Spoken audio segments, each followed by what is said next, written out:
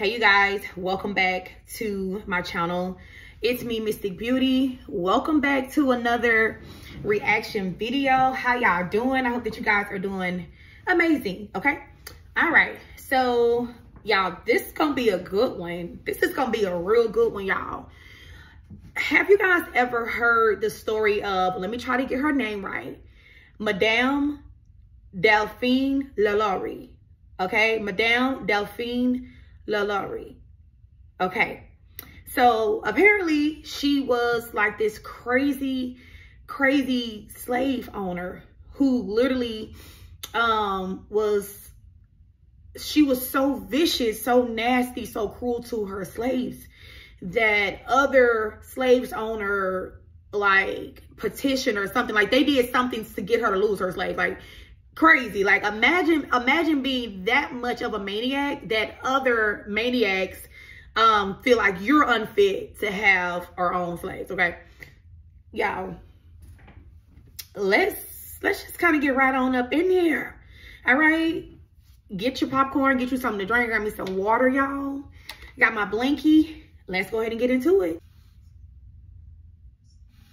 Y'all ever hear of the disgusting slave owner that got all of her slaves repoed? Actually, you guys have, because I've covered her. But I have more tea.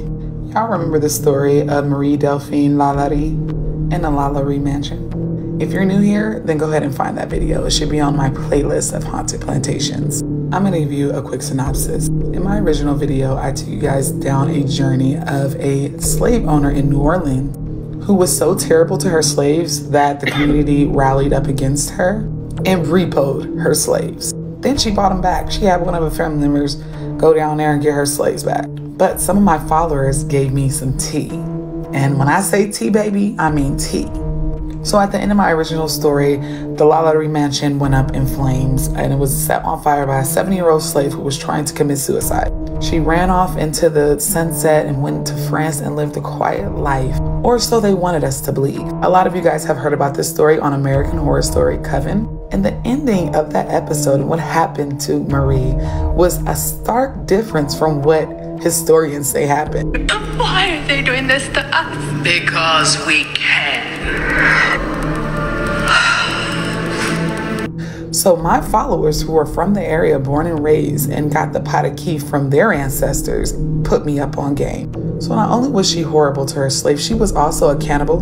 She was eating them. She was also doing medical experimentation on these people. She was making human centipedes out of enslaved people.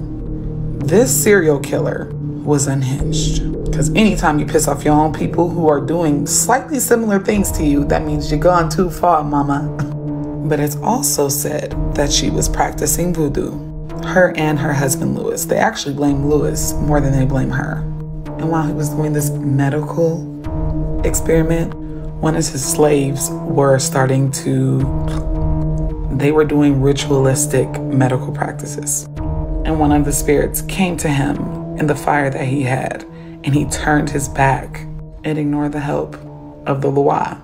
So it is said that she made it out of New Orleans before the mob came into her house to arrest her or do whatever they was going to do. But here's tea. She never made it out of New Orleans. See, what most people don't know back then, New Orleans was a hub for free black folk. And with the help of this free queen, the queen of voodoo herself, Madame Laveau, oh girl never had a chance to make it out of New Orleans because it is said that this voodoo queen, along with a couple other priestess, got to that ass. It just makes my little black soul smile that she got the ending that she deserved. I boo boo. I ain't never heard of Madame Delphine Lalaurie. Okay, Lalaurie. If I think I'm saying her name right, but sis was buck wild. Like I'm, this was a maniac, a schizophrenic. Okay, this was this this was a psychopath. Like I ain't never. This is crazy.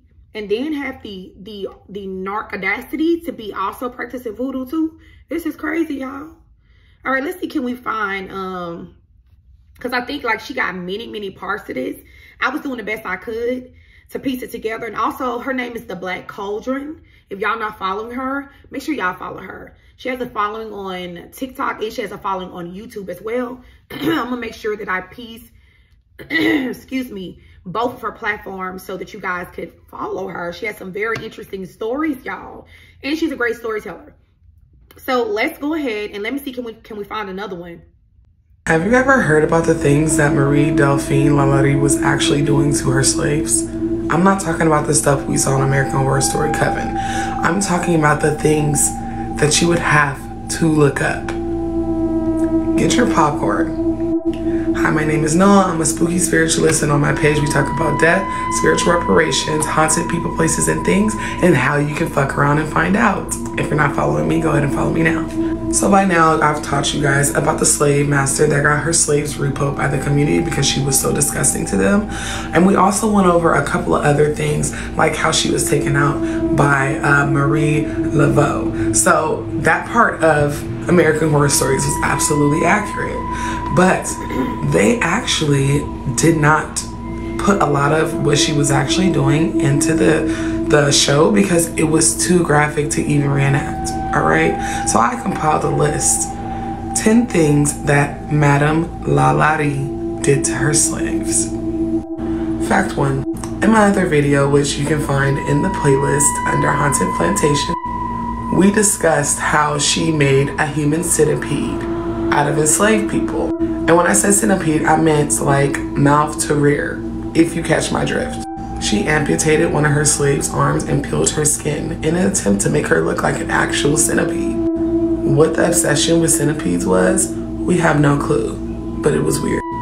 Fact two, she broke enslaved people's limbs and then reset them in an attempt to make them look like crabs. One of her favorite pastimes was watching enslaved people who had healed like scurry across the floor like a crab.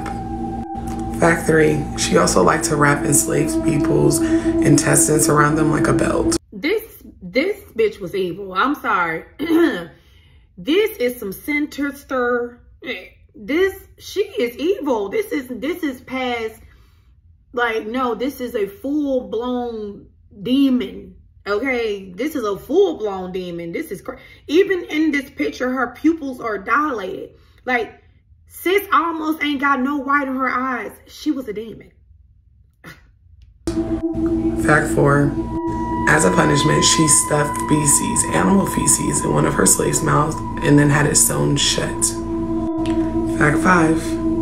She once broke several of uh, one of her slaves' bones trying to stuff her in a teeny, teeny cage. Fact six. Several of her slaves' bodies were found, some of them even exhumed, and they had holes in the skull.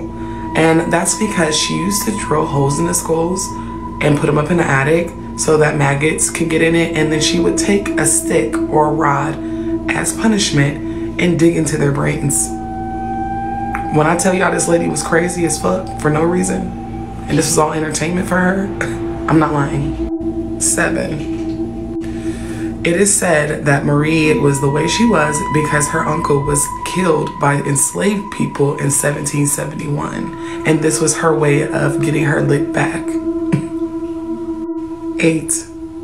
She wasn't just cruel to her slaves. No, she was way too diabolical for that. She also was very cruel to her daughters, beating them whenever they would try to feed these malnutritioned slaves. Like beating them. Okay? 9.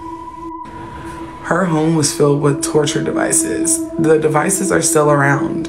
Where? I don't know, but I'm gonna find out for y'all. But they are like artifacts now because they're so old, and some of the things they found literally.